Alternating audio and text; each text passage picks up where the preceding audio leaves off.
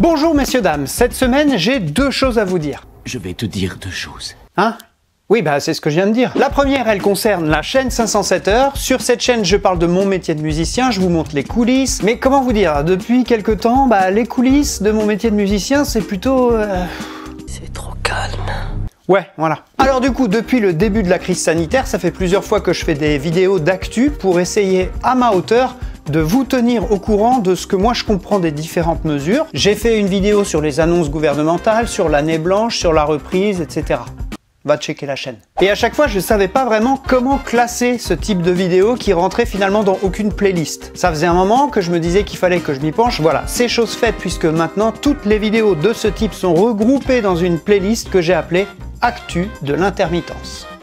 Voilà. Bon voilà Et la deuxième chose dont je voulais vous parler aujourd'hui, c'est que cette semaine, on a eu droit à un petit communiqué de presse que je vais décortiquer avec vous bien sûr. Mais avant, petit rappel pour ceux qui regardent cette vidéo et qui ne sont pas intermittents. Bilan provisoire, notre situation au moment où je tourne cette vidéo, c'est-à-dire le 4 février 2021, est toujours à l'arrêt. Personnellement, je travaille dans le spectacle vivant. Vous allez comprendre dans quelques minutes pourquoi cette précision est importante. Et hormis trois spectacles, trois spectacles masqués, trois spectacles donc dans des écoles début décembre, je n'ai pas remis les pieds dans une salle de spectacle depuis octobre. On est donc à 4 spectacles seulement en 5 mois. Donc on dit toujours show must go on, show must go on, mais bon là... euh, Le show est fini, tête de bite. alors qu'on se comprenne bien, je ne suis pas à plaindre, hein. tous les acteurs du spectacle vivant sont dans ce cas-là. Mes collègues artistes sont comme moi, bah, on- qu'est-ce qu'on fait? On crée.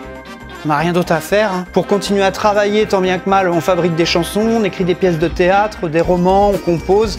Mais tout ça, on peut plus vous le jouer. Quant à mes collègues techniciens, bah eux, je sais pas trop comment ils font. Certains, je sais, en profitent pour se former comme ils peuvent à des logiciels, à des nouvelles technologies. Bref, tout est à l'arrêt. Et c'est bien là le problème. Parce que pour rappel, les conditions d'application de la fameuse année blanche dont bénéficient les intermittents du spectacle étaient basées sur une reprise d'activité en septembre 2020.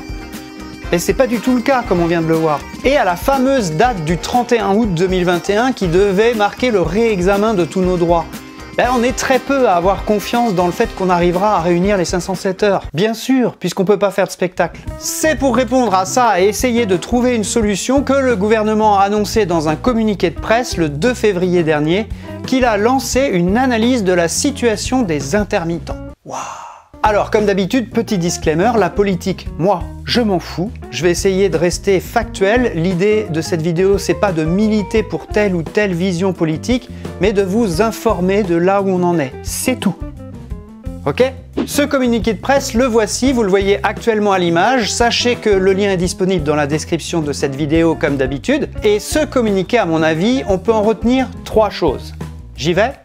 Je vous en prie, à vous l'honneur. Merci. La première, ce bilan va se faire selon différents critères. C'est dit ici, je cite, la mission sera chargée d'évaluer la situation des intermittents en différenciant l'analyse selon le secteur d'activité concerné, le métier exercé et la date anniversaire des droits des intéressés. Ça veut dire quoi Eh ben, ça veut dire qu'on va, dans ce diagnostic, différencier les secteurs d'activité, par exemple l'audiovisuel, le spectacle vivant, tout ça. Le métier concerné, dans le secteur du spectacle vivant, on a différents métiers comme le métier de musicien, de régisseur, de technicien, etc. Et enfin, la date anniversaire, la date du dernier contrat avant le réexamen de nos droits. La deuxième chose, c'est que, sans m'avancer, on se dirigerait vers une poursuite des accompagnements de l'intermittence. C'est dit ici proposer des ajustements du dispositif en fonction de cette analyse. Alors la grande question c'est qu'y a-t-il derrière ce terme ajustement du dispositif? Le dispositif actuel c'est ce qu'on a appelé l'année blanche, hein, donc euh, pour ceux qui savent pas j'ai fait une vidéo là-dessus, je vous laisse aller voir ça.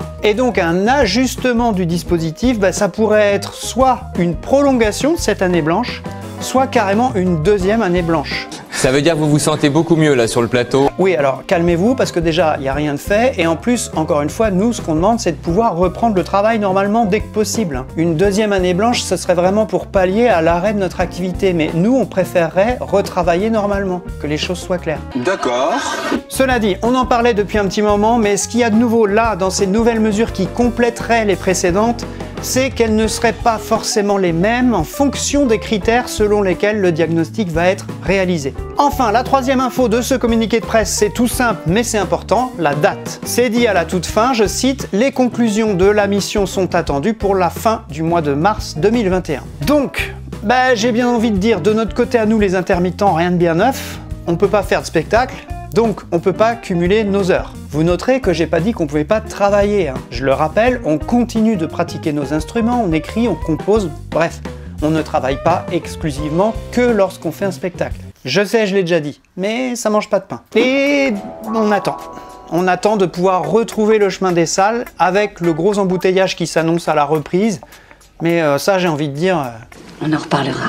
De mon côté, je vais continuer à faire de la musique sur cette chaîne et vous tenir informé dès que ça va bouger. D'ici là, prenez soin de vous, c'était Franck pour 507 heures. Ciao